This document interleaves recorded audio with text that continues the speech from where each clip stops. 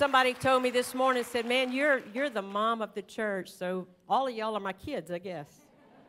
y'all not all invited to lunch today. Only the originals.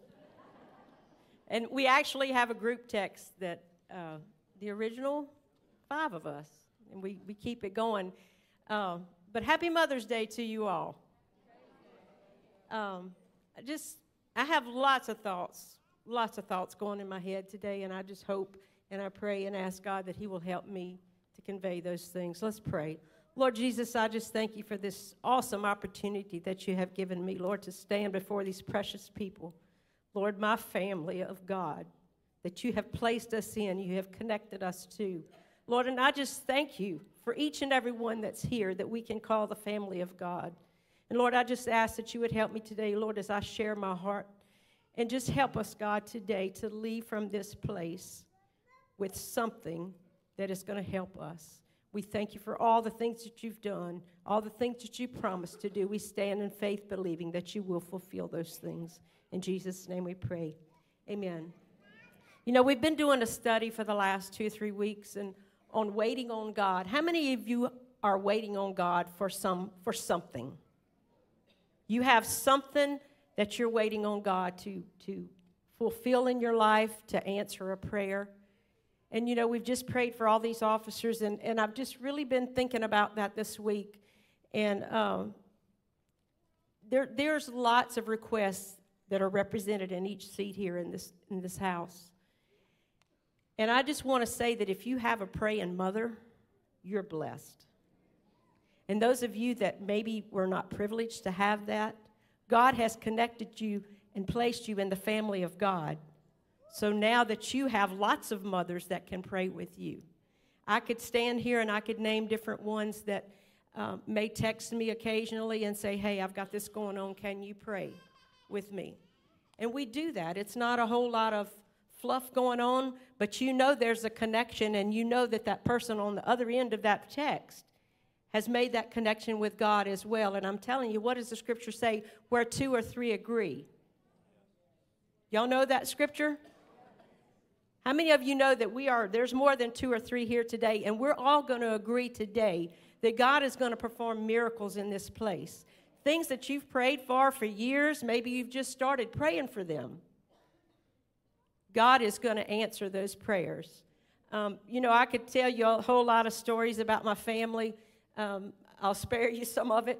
But, you know, we have three children together, and God truly, truly blessed us.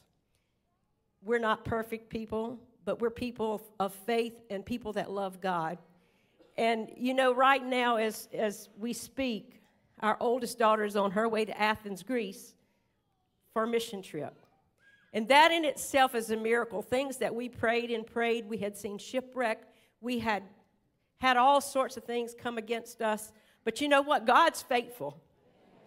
And God is, has began to fulfill in her life dreams that she thought had been taken from her and that she would never be able to see and to realize. But is God a good God or not?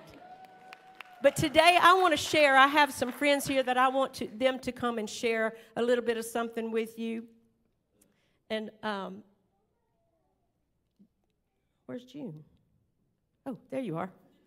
I'm going to invite June Spears to come up to the stage, but I'm going to invite her mom, Debbie, to come too. I pulled it on you because I knew you'd stress if I told you ahead of time. But I tell you what, this is one of my childhood friends right here. We went through school together. Were we perfect people? No, we weren't, but we had a faithful God to us. And so June shared her testimony with us the other night for just a minute, but I just want you to sit here and I want you to grasp the true faithfulness of a loving God, His kindness and His mercies that are new to us each and every day. But this is Miss Debbie and this is Miss June. And Debbie is June's mom. And so you just tell us a little bit, De- oh, June. Hey, good morning. Okay, so I was raised in church, and um, I knew that Jesus died for my sins, but I didn't know Jesus at all personally. I thought that God was this big being in the sky, and that um, He was going to allow me into heaven if I was good enough, and he was going to put me into hell if I wasn't. So, with this mindset, I never did feel worthy. I didn't feel loved, and I had this just gaping hole inside of me. And at a very young age, I started just grasping all the things of the world to try to fill this hole, which eventually in 2017 led to uh, my physical death through an overdose. Jesus showed up in that at the hospital and he breathed life back into my lungs and he gave me a second chance. A few weeks later, um, on Father's Day of all days, I actually met this Jesus. And he had picked my head up just from the shame. And I actually looked into his eyes for the first time. And just in those eyes, I saw just everything that I had been searching for out there, everything I could possibly ever need right there in him. And then I saw that God wasn't this angry man in the sky, but he actually was a loving father and the whole time he had his arms spread wide open, just waiting for me to come home. I decided to that day on Father's Day. And then um, Jesus actually, over the last few years, has taken every single chain that has fallen on the ground that day, and he's taken them and he's used them for um, just gateways for me to be able to help other people walk into freedom and help other captives get set free.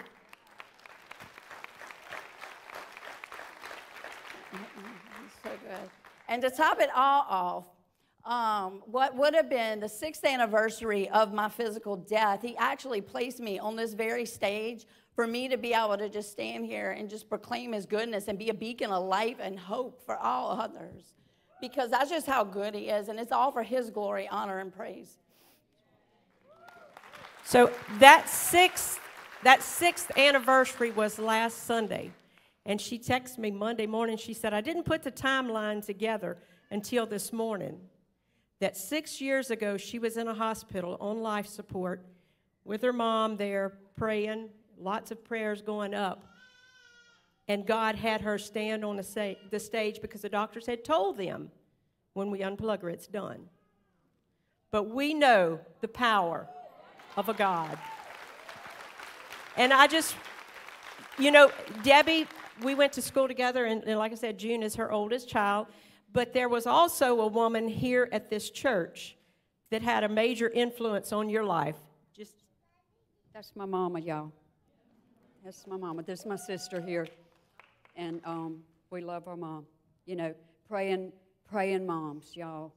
That's what we do.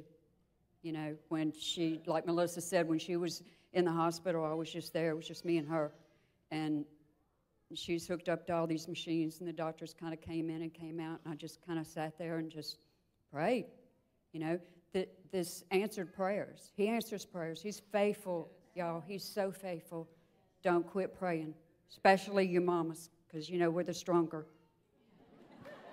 Thank you, thank you. So I just wanted her to share that. On the sixth anniversary of what would have been her death, God saw a better plan. And how many of you know that God sees a better plan for your life, too? Things that you're praying for, don't stop. We're going to get there in just a little bit, but I want to invite Lauren to the stage, for, and she's going to share with you for just a minute. I'm so thankful for Lauren. She's part of our family. Um, married my one and only son. God bless you, Lauren.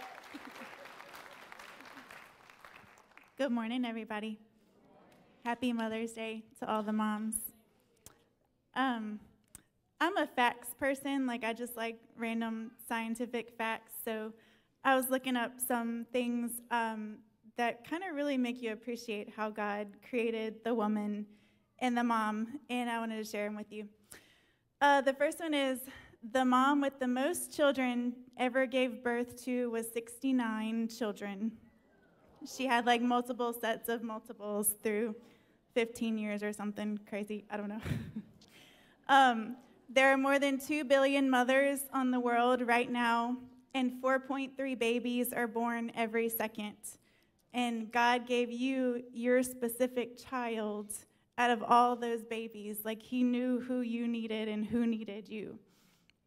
Um, the largest child recorded weight was over 22 pounds.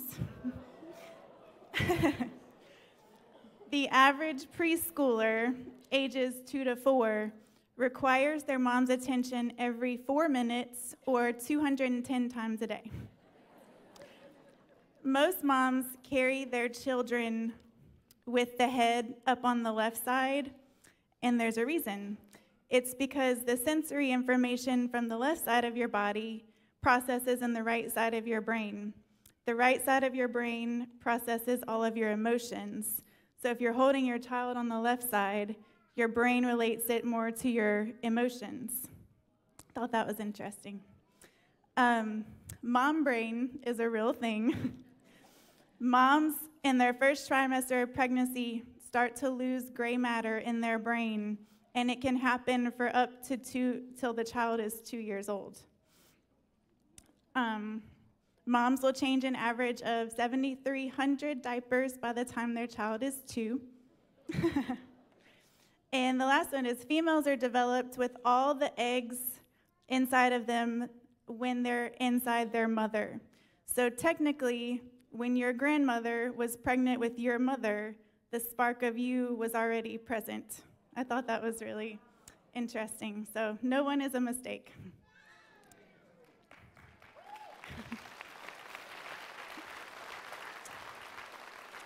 and I have, um, I didn't make this up, I found this online. It's just, it's more towards young mothers, but it's four statements um, this lady came up with that can help you change your perspective through the long, hard days as a mom. Number one is you're always doing the best you can. There's always a reason why you do what you do. It's okay to show your kids that you're tired sometimes, and it's okay to show them that you're human. They don't need to grow up with the idea that everything has to be perfect all the time and you have to be perfect all the time. Um, number two is this is something I can handle. If you have that set in your mind, whatever comes at you, from those crazy kids, you can deal with it. You have a track record of 100% proven to have already overcame everything you've already been through. Um, number three is challenges are a new opportunity for learning and growth. Um, just always ask, how, what am I meant to learn through this? Because your kids teach you just as much as you teach them, honestly. um, and it's hard to do in the midst of the chaos sometimes, but just remember that there's a reason for everything. And the last one I thought was the most important one, and I uh, this has been kind of my my motto for this year. This is my chance. This is my chance to impart into my kids because right now they trust me the most. And well, my husband too. We're the most important imparters in their lives right now. And at, they'll get to a point where they won't be. And our kids, we don't watch the news or anything like that. We don't get out a lot, but they have a strange interest in politics and they ask a lot of questions. But Daryl and I, we're always we're honest with them and we tell them the truth because we know that they're going to get answers from somewhere and it should be us. um, so we encourage the questions and it can wear on us sometimes, but we encourage them to think outside the box and we just teach them what we know. That way, whatever they say in school or wherever else, you know, that's what we. so, that's all I have. Thank you, Lauren. We're so thankful for Lauren and our family. Um, and she does have some inquisitive children. So if you don't have an answer, you better make up a good one. Uh, but I want to share for just a minute, and then we're going to we're going to have prayer for everyone. But I had asked um, you a question a while ago. What is it that you've been praying for that has not been fulfilled yet? And this doesn't just apply for moms. By the raising of your hands, is there a prayer that you have prayed, something in your life that you have asked God for that hasn't been fulfilled yet? I think everybody in here has that. You know, um, been looking at the story uh, of Hannah in 1 Samuel, and we all know, uh, most of us know that story. And when she had gone to the temple, um, and her husband had two wives, poor fellow. You know, and Peninnah, she had children, and Hannah could not have children. And to me, that just kind of symbolizes that somebody has the things, and then there's something that you're praying for. And so, Peninnah, and I think we could probably all relate this to having a Peninnah in, in our lives. When they would go at a certain time, she would always kind of taunt her. I've got this, and you don't have that. I've got this, and you don't have that. And that begins to weigh on your mind and just, it affects you. And you know, that's the way the world in our culture today tries to make us feel. You know what? I've got this over here, and you don't have that. But you know what? That, that got to Hannah, and she began to pray, and she began to pour her heart out to God to the point that Eli thought that she was drunk. And I, you know, I can imagine. Have you ever been to that point in your life to where you might be in a room by yourself? You're just pouring your heart out to God, and it's it's ugly. It can get to be an ugly mess. And and you're just pouring your heart out to God. And so she was sharing this, and I'm going to read in 1 Samuel uh, chapter 1. It says, verse 12.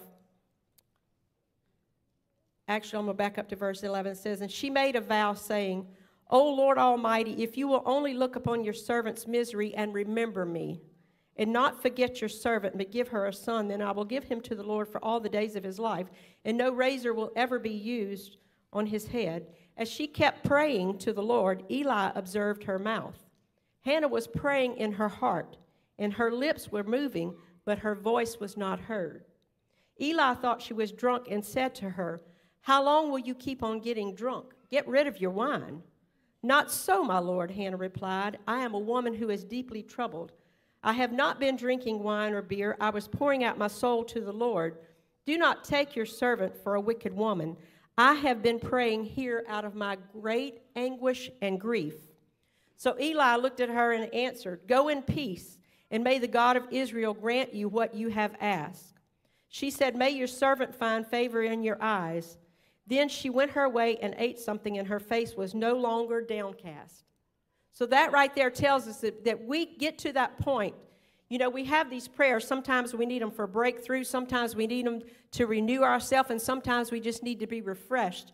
But we need to pour our hearts out to God for whatever's going on. Early the next morning, they arose and worshiped before the Lord and then went back to their home. And then the story goes on. I'm not going to finish reading all of it to it uh, to it, but it doesn't say how long the time was, but we all know that she had a baby, right? And she kept her promise and her vow that she had prayed to God. Um, but you know, um, had written this down here. Uh, and sometimes it's like we're in a waiting room. You know, when we birth in a child, we, we are waiting. We wait nine months, and lots of changes go on during that time, we have to take care of ourselves. There's certain things that you must do. And it's the same thing in the spiritual realm with us. If we've, we've put a petition out to God for ourselves, there are certain things that we need to do. We have to obey the Word of God, we have to be faithful, we have to trust Him. Those are all things that we must do. But holding on to a healthy perspective during God's delay, and she had a delay. How many of you have had a delay in something that you've prayed for? I know that I have. Um, but holding on to this healthy perspective during God's delay is crucial to not missing a blessing that God wants you to experience. Because in everything that we do, Lauren just uh, talked about how many minutes your child needs, and 210 times a day, that's all day long.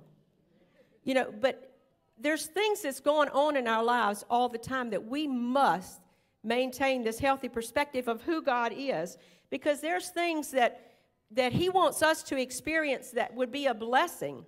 You know, um, Elkanah, he gave Hannah a double portion. But because of somebody that was always there taunting her, she wasn't even able to really enjoy the blessings that had been given her. And that's just the way we are in our lives. You know, God will give us something, and then here comes the little naysayers, or here comes those that want to steal something from you. And I'm telling y'all, we have to stand up and fight for ourselves sometimes in the spirit. Um, but a healthy perspective remembers God's character. And we, we know that we serve a loving God a gracious God. And what does the scripture tell, tell us? That His mercies are new to us. What? It's not once a week, it's not once a month, it's every day. But Isaiah 46, 9 and 10. I'm going to read this. It says, Remember the former things, those of long ago. I am God, and there is no other. I am God, and there is none like me. I make known the end from the beginning, from ancient times, what is still to come.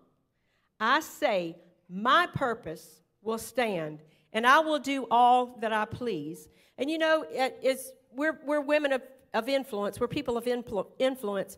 And like Lauren was sharing about the kids, we influence every day, and it's not just our natural kids. There's some in here that, um, I'll just be honest, I kind of help mother you. And, and I, I totally enjoy getting texts from those that are close to me. Um, I'm going to hang y'all out. Kim, Scott, your mama and me are, we're texting prayer partners. And, you know, I, I, can't, I can't tell you how many times that we have prayed. She'll text me and say, hey, I need prayer for this. It's done. It's a done deal. Alicia War, she's one of my text and prayer buddies. There's, and I could name a whole bunch of you in here. There is power in agreement, in the, in the power of in agreement in prayer. But the next one is a healthy perspective remembers God's attitude toward you, and June shared it a while ago. She thought that, you know, her, her perspective of God was somebody up there just waiting on me to mess up. No, that's not our God. Romans 8 38, and this is one of my favorite scriptures in the Bible. Says, For I am convinced that neither death nor life, neither angels nor demons, neither the present nor the future, nor any powers, neither height nor depth, nor anything else in all creation Nothing will be able to separate us from the love of God that is in our Christ, in Christ Jesus our Lord. And I wanted to share this uh, version, the Passion Translation of that same scripture. It's uh, so now I live with the confidence that there is nothing in the universe with the power to separate us from God's love. I'm convinced that His love will triumph over death, life's troubles, fallen angels, or dark rulers in the heavens. There is nothing in our present or future circumstances that can weaken his love. There is no power above us or beneath us, no power that could ever be found in the universe that could distance us from God's passionate love, which is lavished upon us through Lord Jesus, the Anointed One. And the next thing that we need to have a healthy perspective on is God's promises. Jeremiah 29 11. How many of you know that scripture? For I know the plans I have for, for you. They are plans to what? Prosper you, to give you a hope and to give you a future. In Isaiah 40 31 also it says, But they that wait upon the Lord shall renew their strength. They shall mount up with wings as eagles. They shall run and not be weary, and they shall walk and not faint. And you know, uh, we, I, who was I talking to about the, was Matt Jones about the bird feeders a while ago. We were talking about bird feeders in our backyards. And um, how many of you see the birds? And, you know, there, there's different methods of flight for the birds. One is flapping, keeping their, they just have to keep their wings in constant motion like a hummingbird. How many of you got hummingbird feeders out right now? You know, they just, they work them, themselves to death. And you've always got this one, I'm going to call him the Peninnah, the little red throat one. He's standing over here. He won't let the others eat because he's going to come and try to drive them away. I'm thinking there's six hummingbird feeders right here. Y'all could all go to one apiece. But no, he's got to stand there and torment somebody else. So the next uh, method of flight is gliding. Here, the bird builds up enough speed, then coasts downward in a while. It is much more graceful than flapping, but unfortunately, it does not get the bird very far. Reality in the form of gravity sets in quickly, and gliding is nice, but it doesn't last. And maybe you ever threw one of those little planes, those little glider things? What happens eventually? Usually nose dives right into the ground. But just like we read this scripture, they that mount up with wings as what? Eagles. Um, only a few birds, such as eagles, as such as eagles, are capable of soaring. Eagles' wings are so strong that they are capable of catching rising currents of warm air, thermal winds that go straight up from the earth, and without moving a feather, can soar up to great heights. Eagles have been clocked at up to 80 miles per hour without flapping at all. So we need to be like the scripture says mount up with wings as eagles. Don't be no hummingbird.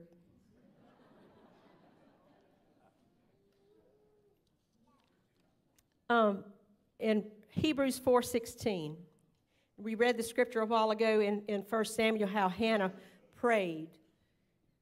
And prayer is the key for us. The life that we live, a life of obedience to the Word of God. When we pray, something begins to happen. Uh, Hebrews 4:16 in the NLT says, "So let us come boldly to the throne of our gracious God.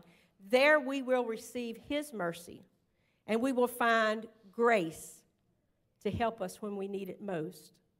How many of you have ever been to the throne of God and you've you've poured out your heart, but you hadn't seen something fulfilled just yet? But that scripture says we will find at the throne of our gracious God, we will find grace to help us when we need it the most. In the Passion Translation, it says, So now we draw near freely and boldly to where grace is enthroned. Oh, but for his grace, to receive mercy's kiss and discover the grace we urgently need to strengthen us in our time of weakness. And then the Amplified Version, these three different versions of this, it says, Therefore, let us with privilege approach the throne of grace. That is the throne of God's gracious favor with confidence and without fear, so that we may receive mercy for our failures and find His amazing grace to help in time of need, an appropriate blessing coming just at the right moment. So, how many of you, once again, have something that we need to pray about? We need to agree together. Um, but Hannah, when she was in the temple and she prayed, she began to release herself and she began to worship God. And how many of you know sometimes when our, we're praying and then you shift over into that worship of our gracious God, things begin to shift, things begin to take place in the spiritual realm that only God can do. Um, in Isaiah 26 3, it says, You will keep in perfect peace all who trust in you all whose thoughts are fixed on you. Trust in the Lord always, for the Lord God is the eternal rock. Um, would you stand with me, please? And I'm going to ask my mother to come to the stage, please. You know, and during our time of praying and asking God for the needs that we have, uh, you know, instead of saying, God, I'm, I'm waiting, have you ever just said this to somebody? God, I'm waiting on you to do whatever and fill in that blank. How many of you have said that today? God, I'm waiting on you to heal this. God, I'm waiting on you to fix this relationship. But you know, instead of, of saying that, God, I'm waiting on you, during that waiting time, why can't we sh- shift our thought and say, God, I'm worshiping you today that you are healing. I'm worshiping you today, Lord, that you're going to repair what we need. Lord, I'm worshiping you today that you're going to refresh, you're going to renew, we're going to restore all of these things. And those of you that don't know, this is my mother.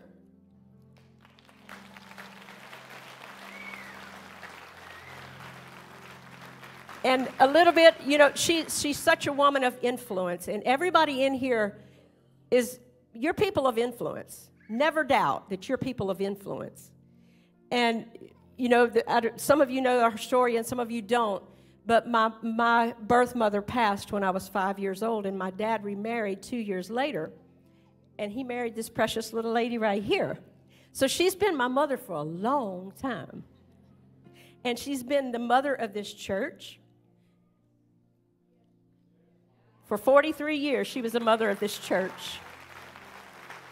And so now she is still the mother of our family and keeps us all together. But I want to ask all the mothers I'm going to ask all the mothers to come down, all to the front, and I want you to squeeze in just as close as you can. And I, as you're coming, I know that everybody, every person that comes, this is going to be represented a request, a prayer request that you have, something that's near and dear to your heart, that we're going to present here today at the altar. And instead of saying, God, I'm waiting on you to do, fill in, you fill in the blank. God, I'm waiting on you to whatever. Let's shift our words and let's say, God, I'm worshiping you for healing my child, bringing my child, setting my child free. I'm worshiping you for, you fill in the blank. We're going to wait. Y'all come on, push in because we have a lot of mamas here.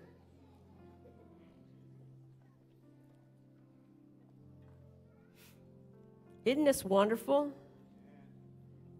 All you guys, give all these women a good hand.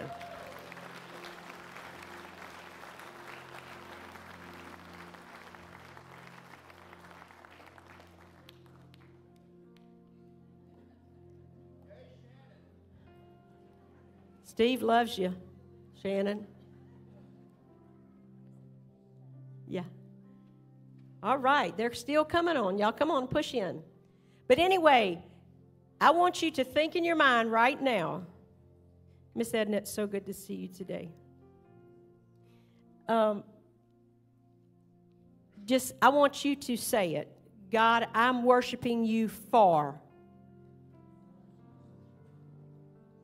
And I want you to finish that sentence. We're going to do it one more time. And you finish your sentence just what you're worshiping God for. We're not just waiting, but in that waiting, we're going to worship God. God, I'm worshiping you for your grace in my life. I'm going to ask my mom to pray for us.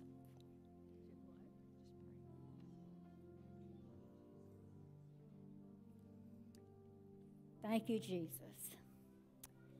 Lord, I'm so humbled to stand here before such a beautiful, beautiful group of mothers. What, what, if, if we could just know, Lord, everything that's in these hearts.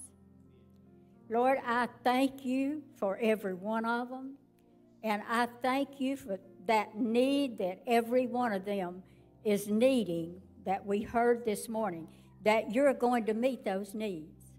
Lord, your power and your grace is sufficient for these lives. Honor each one of them, Lord. Let them know that you are with them. Meet every need, Lord, in the name of Jesus. I ask for miracles. Lord, I ask for miracles in these lives this morning, Lord. Meet every need Lord, let the hand of protection be up on each one of them. Lord, we thank you that you will meet the needs this morning. Thank you, Jesus. Thank you, Jesus.